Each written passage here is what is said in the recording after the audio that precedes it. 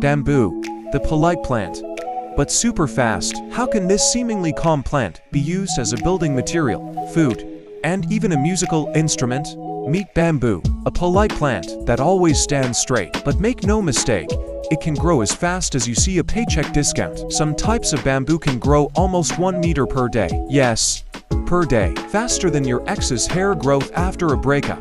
Bamboo is also a super energy efficient plant. It doesn't need much fertilizer.